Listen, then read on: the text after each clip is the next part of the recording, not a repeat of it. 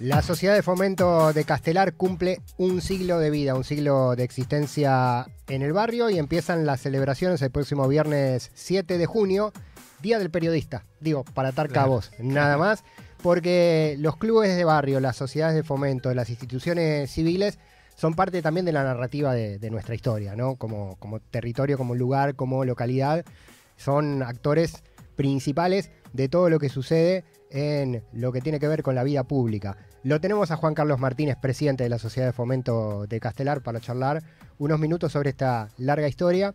Bueno, e invitar a todos y a todas a la conmemoración, a las celebraciones. Juan Carlos, bienvenido es una forma de decir, porque esta es tu casa también. ¿Cómo estás? ¿Qué tal? Buen día, gracias Pablo. Bueno, también está Inés, gracias. Bueno, feliz. muy, muy feliz. Llegamos al centenario. Mm. Eh, así que te imaginas que estamos muy movilizados por, por todo lo que se viene el próximo fin de semana. Totalmente. Para hacer historia, que es valioso también eh, transmitirlo a quienes nos escuchan en otros lugares, a través de la cadena de comunicación y cultura, el programa se reproduce en el sur, en el oeste, en el noroeste, y en cada territorio hay una sociedad de fomento, hay un club de barrio, hay una institución que también es parte de esa vida, ¿no? Entonces, desde lo local vamos a lo general. Eh, marca algunos puntos de la historia de la sociedad de fomento que, bueno, tengan esa representatividad.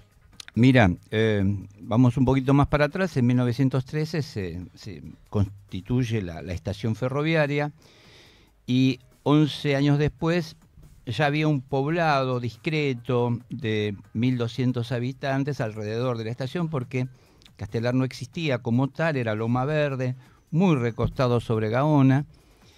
Y entonces, bueno, ¿qué pasa? No había calles de tierra, no había eh, tampoco eh, una posibilidad de, crecimiento por el solo hecho de que estuviese la, estación. Había muchas quintas. Esas quintas tenían problemas con las hormigas y no era algo que se podía abordar individualmente, sino que era necesario que se constituya una institución de manera colectiva para resolver este y otros problemas. No había sala de primeros auxilios, no había biblioteca popular. Bueno, eh, ten en cuenta que en la primera asamblea participa nada más y nada menos que Mario Bravo, diputado nacional. Eh, y, todo esto fue el germen de una institución que inmediatamente se puso al hombro un montón de tareas que en 1924 el Estado no, llegaba a, este, este pueblito. Eh, entre ellos el arbolado, el arbolado público, los pasos de piedra para poder acceder a la estación, para poder cruzar las calles que, eran imposibles de cruzar. Imagínate con estas lluvias lo que serían las calles en ese momento. Eh, obviamente se abordó el tema de, los hormigueros, eh, de las quintas se colocaron inmediatamente la institución hace una gestión ante el gobierno municipal y el gobierno municipal les manda dos vagones de ferrocarril con árboles. Y la comisión directiva inmediatamente contrató gente para, para plantarlos. Y uno ve Castelar, ahora yo he visto imágenes, eh, fundamentalmente esas fotos que, que tomó el ferrocarril cuando estaba en manos de los ingleses, y realmente era una pampa, esto no había un solo arbolito. Claro. Este, y lo ves a Castelar ahora y hubo una, como una contagio que durante décadas se fueron plantando árboles, incluso nosotros ya en la década del 90 plantamos este, más de mil árboles en el centro de Castelar. Así que, y después cosas importantes, la, las obras de, agua, de agua corriente, de cloaca, eh, acá hubo una fusión entre la radio y la Sociedad de Fomento con Obras Sanitarias de la Nación, porque teníamos un, compañero, el Guillermo Marchelo, que tenía problemas estomacales permanentemente. Hicimos analizar el agua y tenía Escherichia coli, nosotros no teníamos cloaca acá. Y esto, bueno, fue una de las denuncias que, metimos porque eh, no teníamos calidad de agua. bueno, era horrible eh, tomar agua contaminada, no solamente nosotros, sino todo el casco céntrico. Y ahí Obras Sanitarias de la Nación, hasta ese momento, licitó las obras de agua corriente y cloaca, lo que faltaba, en la Sociedad Fomento de Castelar, no en el municipio. Eso es lo increíble, lo notable, lo que a veces uno no logra dimensionar la figura de la institución que la licitación se hizo en nuestra salita. Sí, porque tenía una validación social, claramente, que era la de los vecinos y, la de las vecinas. Bueno, la sociedad civil organizada, ¿no? De esto estamos Totalmente. Sí, ese, y así fue siempre y así es hoy. Eh, en el presente nosotros nos hemos fijado una misión que es la misma de, no del 24, el 29 fue un año clave. 1929 fue un año clave, hay una asamblea en ese año que crea el periódico La Voz de Castelar, crea la sala de primeros auxilios y la Biblioteca Popular 9 de Julio. Fue en noviembre de 1929. Notable. Mm. Notable la visión, este, porque casi 100 años después esas instituciones están vigentes, fuertes, se le suma en 1945 el Teatro Independiente porque se construye el edificio. El edificio se, construye en 1944 y se termina en mayo de 1945, con fondos del Congreso de la Nación, aprobados en el Congreso de la Nación por un proyecto de ley que presentó el diputado nacional, el ingeniero Boati. ¿sí? Eh, tiene una reunión con la comisión directiva, eh, compra el proyecto, dice yo lo voy a llevar al Congreso, el Congreso lo aprueba y tenemos el edificio que tenemos. Y eh, a partir de ahí se suma el Teatro Independiente, donde somos claramente un referente en la zona oeste del Gran Buenos Aires. Incluso fuimos sede, creo que por tercer, cuarto año consecutivo, del CPTI, ¿no? del Consejo Provincial de Teatro Independiente. Castelar, nuestro teatro, es elegido este, como sede para la participación selección y elección de los este, elencos que se inscriben previamente para participar en el Teatro Independiente. Así que estamos hablando de, la salita, el espacio de la salita. Teatro La Salita, claro. En algún momento se llamó Teatro Roberto Ar eh, y nosotros lo rebautizamos a instancias de la comunidad, ¿no? Porque Daniel Zavala fue uno también que lo propuso, Rodolfo Novo y ahí lo rebautizamos como Teatro La Salita. Era mucho más fácil conectar con la comunidad con este nombre. Sí, porque efectivamente es una salita muy linda, con un escenario cálido, muy un espacio, eso, por ahí pequeño, pero eh, con todas las condiciones para hacer una obra de teatro. Vamos a tener 90, 100 personas el domingo, que tenemos el almuerzo, están todas las entradas agotadas. Eh, pero esa es la capacidad. Y cuando es teatro infantil, eh, hasta 120 chicos entran sin ningún problema es un número importante, digo, para el teatro independiente. Sí, sí. Es un. Y después, bueno, que esté Daniel Zavala, ya también es eh, un, aporte importante desde su dirección de sus propios de sus propias presentaciones como actor también protagonista en la zona este no cabe duda y después lo tuvimos durante décadas a Ricardo Pasano durante décadas no 60 70 80 y parte de los 90, Ricardo, eh, eh, también un símbolo muy importante del teatro independiente, con su escuela de teatro los sábados a la mañana, ni hablar de la extensa trayectoria de, de Ricardo Pasano, ¿no? Sí. Lo recordarán en Juvenilla, por ejemplo, El beso a Lolita Torre, bueno. Totalmente. tiene, una historia hermosa. Mucha historia, mucha historia. 100 años de la Sociedad de Fomento de Castelar. Juan Carlos Martínez, su presidente, está acá con nosotros en la Patria de las Moscas, en los estudios de FM en Tránsito, en los estudios Nora Cortiñas y para toda la cadena de comunicación y cultura Cruce, para las radios universitarias y comunitarias de todo el conurbano bonaerense.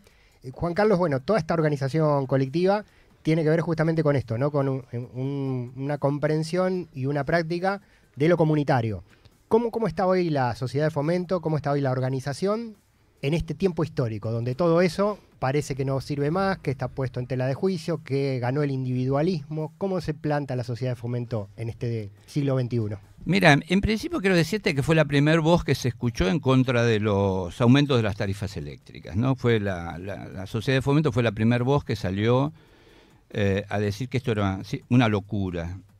Y por otro lado, bueno, eh, nos vimos obligados a hacer toda una readecuación presupuestaria y eh, muchas de las actividades que hacíamos eh, tuvimos que concentrarlos en horarios.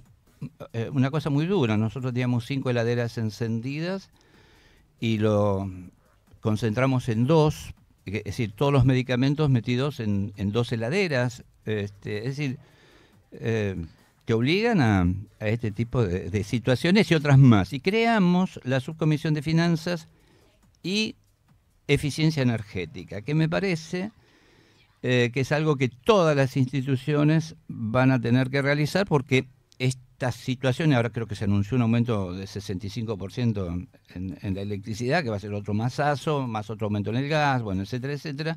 Yo creo que cada institución, cada entidad va a tener que también eh, adoptar medidas iguales, similares, parecidas, pero algo van a tener que hacer porque esto te desmadra eh, todo presupuesto que vos tenés. Esto que vos decías, la, en, un momento en que se fomenta el individualismo, se fomenta... No es así, es decir, lo podrán fomentar, pero la, respuesta de la sociedad no va a ser la misma. Al contrario, nosotros notamos este año un, eh, un aumento de la cantidad de servicios que, prestamos y otros que son absolutamente gratuitos y que la gente se acerca porque quiere disfrutar de, un club de lectura o quiere muchas cosas que no se pueden resolver en soledad, sino que se tienen que resolver socialmente. Eh, podés ver una película solo, sí, podés ver una película solo, pero si venís al, al taller de cine o venís al seminario de cine o si venís a ver los sábados cine y podés después de la película debatir. Además, nosotros tenemos la suerte de tener a Mario, eh, que es este profesor de cine y que te explica la película un poco antes, no te, la, no te cuenta el final, pero te explica por dónde viene la película y la ves de una manera distinta, de una determinada escena, eh, donde no sé, no había, nos, habíamos amado tanto, la gente empieza a dar este ladrón de bicicleta, la gente se levanta del cine y se va, vos ves la película solo y no sabés por qué la gente se levanta del cine y se va.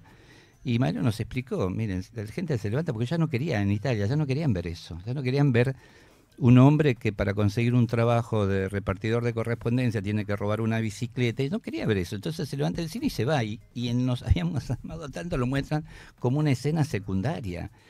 Pero es clave para el desarrollo de la película. Bueno, eso que, estoy contando ahora es lo que pasa en el cineclub. Se ve una película y se ve con eh, una dirección que te va indicando eh, por dónde va. Eso individualmente. Claro Sí, el debate posterior también. Pero es fantástico. Dura más a veces el debate que la película. Claro, totalmente. Bueno, esa es una de las actividades que pasan en la sociedad de fomento culturales, culturales y también gregarias, ¿no? Que tienen que ver con esto del encuentro, eh, fundamentalmente. Insisto, para profundizar un poquito más, ¿no? Eh, sobre, sobre la situación, sobre la situación general. Vos, ves, eh, Juan Carlos, ven desde, desde la sociedad de fomento que más allá de la foto del voto, con un discurso determinado, eh, la sociedad no va hacia ahí, eh, que se sigue teniendo la necesidad de juntarse. Ya más allá de lo político también, bueno, estamos eh, más metidos en el celular y en las redes sociales que en el club. por lo menos esa es la foto que nos quieren mostrar. ¿Cómo lo ven ustedes? Mira, ustedes saben, como yo, la influencia que tienen los medios de comunicación en el comportamiento de la gente. La gente fue envenenada con un discurso de odio y que prendió esa, esa vacuna, prendió en la comunidad y lamentablemente hay muchísimo odio y no, no es fácil estar ajeno sobre esas conductas. Eh, también hay que revisar esto de, de la comunicación, eh, viste lo que son los debates en Twitter, es una cosa impresionante, cómo puede haber tanta violencia, y a veces se pasan una madrugada discutiendo si la Tierra es plana o si es redonda, ¿viste? Entonces... Empezando por el presidente de la nación, ¿no? Pero claro, entonces, este, ¿tiene sentido todo eso? Mm. ¿Hay algún sentido de todo eso? Entonces, imagínate en una comunidad, eh, nosotros hemos notado este año eh, que se están acercando muchas personas a la institución como despojándose de todo ese manto, ¿no? Estamos diciendo, vamos a tomar aire fresco. Nosotros, desde nuestra parte, tratamos de no fomentar eh, actividades donde pueda expresarse el odio. Por el contrario, hacemos todo lo contrario, ¿no? Y esto no es de ahora, sino que hace 8, 9 años, 10 años que nosotros venimos con actividades que fomenten el encuentro y no la dispersión y no la, la disgregación de la sociedad. Y nos está dando muy buen resultado. No hubiéramos llegado a esta celebración de la manera que llegamos si, si no apostábamos de esa manera. Que también, aprovecho para decirlo, en el programa de radio es, es exactamente igual, ¿no? En el programa de radio somos absolutamente inclusivos en todos los sentidos, en todos los sentidos. los, sábados, los sábados a la mañana se escucha el programa de la Sociedad Fomento acá en FM en Tránsito. Eso es. Y, y también, eso, eh, a ver, como me toca ser eh, presidente y director de, tanto del periódico como del programa de radio, transmito lo mismo, ¿no? Y lo mismo el periódico, la elección de las tapas y las notas y las notas centrales y todo lo que se expresa va en la dirección de, lo, de esta decisión de la comisión directiva de ponernos un escalón por arriba, por arriba, de que poner en esa pelea. Seguir su propia agenda, ¿no? Nuestra propia agenda, totalmente, totalmente. Bueno, vieron lo que, lo que es Castelar en, en época de elecciones, lo, que son las esquinas de Carlos Casares y Arias y la, y la peatonal que lamentablemente ya se ha perdido la capacidad de un debate político, lo que hay son este, agresiones. Bueno, nosotros nos pusimos por una necesidad institucional un escalón por arriba y tratando de, ser absolutamente inclusivos. Y también incluyen eh, un montón de temáticas y rubros en la actividad, arrancando, como contabas, en los 90 y antes con obras de cloacas. Eh, y hoy en todo lo cultural y también en, la salud que tiene el espacio de... Lo de la salita es algo increíble. Desde 1932 nosotros cobramos aranceles. 1932. Mirá, si tiene historia, ¿no? Este, cuenta el doctor Ángel Bo que habló con, con un médico, Esperati, y se vino a la sede que en ese momento estaba en Martín y Goyen con todo su equipamiento y cobraban un, un breve, eh, un pequeño arancel. El doctor Ángel Bo atendió también décadas, por eso el centro asistencial lleva su nombre, doctor Ángel Bo, atendió décadas a todo el mundo, pudiese pagar o no pudiese pagar, inclusive los aranceles eran muy, muy bajos. Y durante estos casi 100 años que lleva la salita, mantuvo el arancelamiento y hoy nos permite darle a la comunidad un servicio de salud sumamente importante. Con, estamos creciendo, atravesamos la pandemia y, la pospandemia, los dos momentos fueron muy graves, y estamos aquí, estamos aquí eh, me, te diría en un muy buen momento. ¿Por qué? Porque muchas personas se dieron cuenta que en la salita abonan un arancel para ver un profesional de la salud en el momento que lo necesitan. Y las prepagas durante décadas te van sacando dinero desde joven y cuando vos los necesitas en la tercera edad te dicen chau, te expulsan. Entonces, la gente está eh, comprendiendo el rol de la salita. Claro. Eh, y, eso es un cambio. Si bien es arancelado, es muy accesible. Es muy claro. A ver, eh, lo que pagás un mes, una prepaga, es el doble o el triple de lo que vos pagarías en el año por lo que necesitas. Así que fíjate lo absurdo que es, eh, yo no critico el que tenga un sistema de medicina prepaga, pero en la salida tenemos excelentes profesionales, sí, que te ordenan los medicamentos que necesitas y nada más. O un estudio, o lo que fuera. Es un negocio contra un servicio, ¿no? Totalmente, totalmente. Y una posibilidad que tiene la comunidad para. Y ha funcionado desde 1932 hasta la fecha. Totalmente. Este, y, bueno, y eso, obviamente, claro, es otra de las cosas por las cuales nos no llena. Y tenemos, quiero felicitar, bueno, al personal de la salita, pero también al doctor Oscar Díaz, que es el director médico. Pues sabes que no tenemos un médico, tenemos un sabio. Eh, es impresionante la cantidad de prestaciones diarias que realiza, que la gente lo viene a ver a él y a todos los médicos, pero tenemos un sabio realmente un sabio, es una persona que sabe, tiene una ilustración tremenda. Hay un reconocimiento de la comunidad por eso. Así que, y además ad honorem, digámoslo todo, absolutamente ad honorem.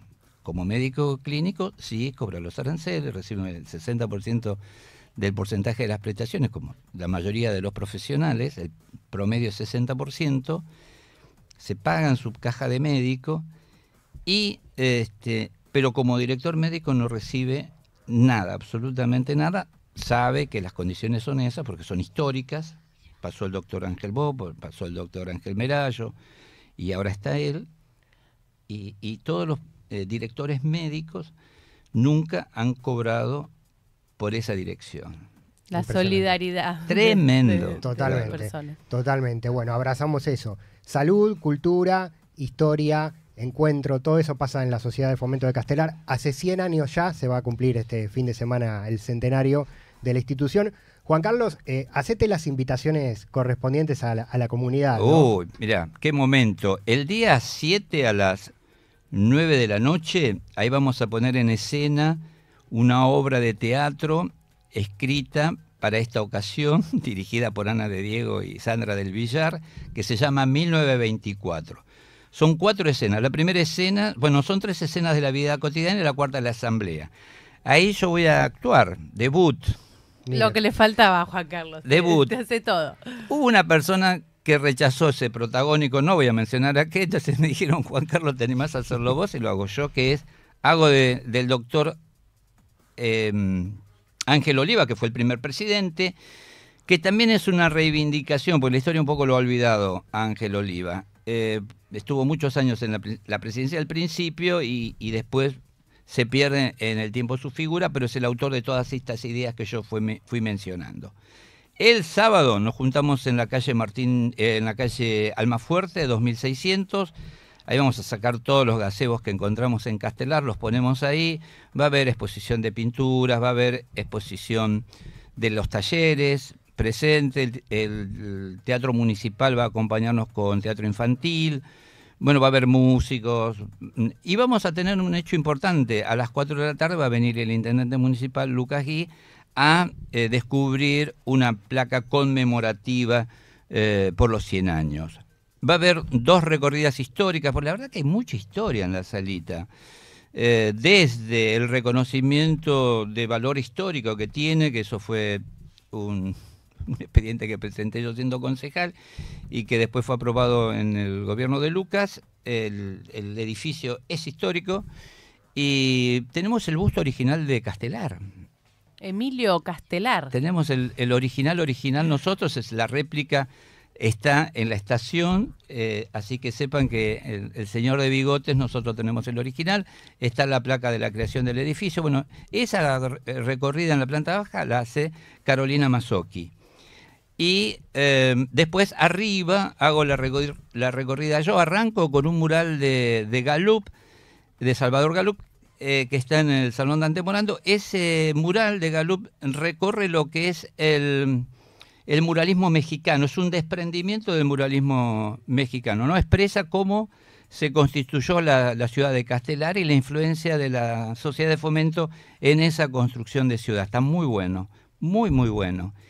Después pasamos al teatro eh, que hacíamos mención, que se llama La Salita, pero este, tiene una placa que recuerda a dos eh, eh, integrantes del grupo de teatro Roberto Ar, Polanco y Goldring, que fueron desaparecidos en 1977, y después em, hacemos en la sala de reuniones de comisión directiva una recreación que pasó en 1976 cuando la dictadura se quiso apropiar del edificio que me enteré a través de una carta que me escribió Don Artigues, que fue presidente en ese momento, que ya durante la dictadura, de Onganía también se quisieron quedar con el edificio. Así que tuvimos dos intentos de apropiación del edificio. Vino el comisario Bravo con otro, con un odontólogo que era el que iba a recibir las llaves de la institución para hacerse cargo de la institución. Se reúne en la comisión directiva comisario Bravo pasa lista, una cosa tenebrosa, tenía un trabajo de inteligencia previo, pasa lista y le dice, bueno, me tienen que dar las llaves. Eh, Juan Martín dice, nosotros vamos a hacer una reunión ahora y vamos a decidir qué hacemos. ¿Qué decidieron hacer? Apagar toda la luz y quedarse adentro de la institución. Esto era de noche. El patrullero lo veían por la ventana, estaba en la calle Almafuerte.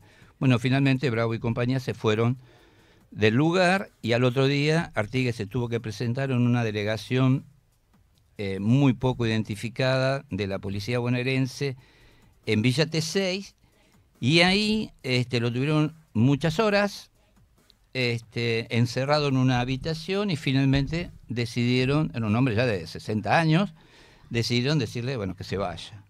Y dos veces por mes recibían la visita y había que contar cuáles eran las actividades que se eh, estaban realizando y se iban a realizar.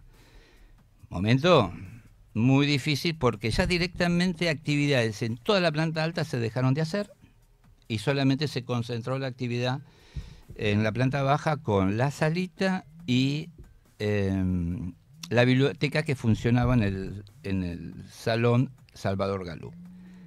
Eso lo recreamos mañana este, en el sábado. Lo recreamos a las entre las dos y media y las tres y media de la tarde. ¿Cuánta historia? recorrida. Sí. ¿Cuánta historia? Bueno, ¿Qué son te 100 parece? años, ¿no? Nada más y nada menos. No, pero fíjate vos la importancia que dos procesos durísimos, militares, tremendos, qui- quisieron apoderarse del edificio. Qué significativo. Uno no Claro. por ahí no se da Cuánta cuenta. valentía que Y la tuvieron. Qué coraje. Totalmente. Y pensaba, vos sabés que estamos saliendo por eh, radios de distintas zonas del conurbano, cuántas experiencias de sociedad de fomento hay a lo largo de, de todo el conurbano y estamos hablando de esta tan importante en la ciudad de Castelar, pero seguramente en zona sur, zona norte también. Le mandamos un fuerte estas abrazo. experiencias comunitarias muy valiosas. Estamos preparando un manual de administración y gestión de una asociación civil sin fines de lucro, así que una vez que esté terminado, porque no es- ¿sabes qué pasa? Cambian las comisiones y por ahí vienen una nueva comisión y no sabe administrar esto, entonces estamos haciendo un manual de, de administración para que las eh, comisiones futuras digan, che, ah, mira, es, es así, eh, eh, tanto tiempo tenés para distribuir, tanto... Como una especie de educación o formación popular, ¿no? Claro, Transmitiendo y el a ustedes les, para- conocimiento. les pasará en tránsito, ¿no? Eh, no gastar más de lo que entra. Bueno, ese, ese es el, el Es un tema, punto número uno. claro. Almafuerte 2642 Castelar, ahí queda el edificio histórico de la Sociedad de Fomento de Castelar, 100 años. Bueno, el viernes a partir de las 21 empiezan las actividades. Vamos a seguir contando Juan Carlos, Juan Carlos Martínez, presidente de la institución, con nosotros compartiendo este rato. Bueno, gracias por este pequeñito fragmento de tanta historia que, hoy nos compartiste y compartiste con la audiencia. No, el agradecido soy yo. El agradecido soy yo. Este, para mí es, primero, porque esta presidencia yo no me la imaginaba. No te digo que estaba retirado, pero eh, ya. Y eh, me vinieron a pedir, me solicitaron que me haga cargo de la presidencia porque querían que fuera yo el presidente de los 100 años. Y la verdad que me han dado una enorme alegría. Así que gracias a Silvia, a Ana, a Fernando, eh, y, todos los, los miembros de la comisión directiva que me pidieron que fuera yo el, el presidente de los 100 años y me han llenado de alegría al hacerlo. Así que bueno, para mí es una enorme satisfacción. Bien, las felicitaciones por eso, Juan Carlos. Juan Carlos Martínez, presidente de la Sociedad de Fomento de Castelar, 100 años, bueno, toda la comunidad a ser parte de estos festejos que son de todos y de todas.